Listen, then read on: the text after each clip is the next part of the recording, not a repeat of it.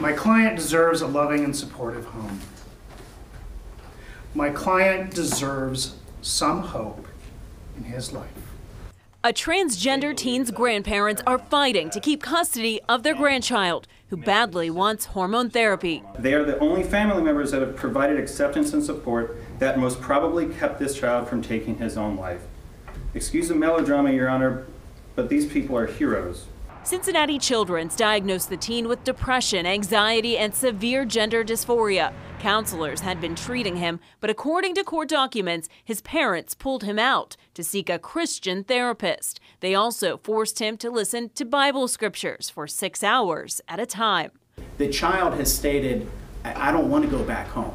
When I was home, dad chased me around the house. When I was home, I lived in terror. Today, the parents pled their case to a judge, wanting to ensure their child wouldn't begin transgender hormone therapy.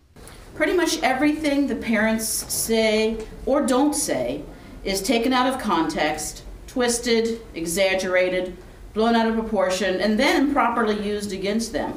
Attorneys for the teen say the child cried and screamed in the fetal position when seeing his birth name on documents, and that the best option is to hand custody to his grandparents. Your Honor, what we want to do in the coming months, around May, is plan for a high school graduation. Throughout the summer and fall, plan for entrance into college. We don't want to be planning a funeral. Now, closing arguments wrapped up around 4 o'clock this afternoon. The judge telling us tonight she plans to have a decision no later than February the 16th. Reporting live downtown, Amanda Kelly, WLWT News 5. All right.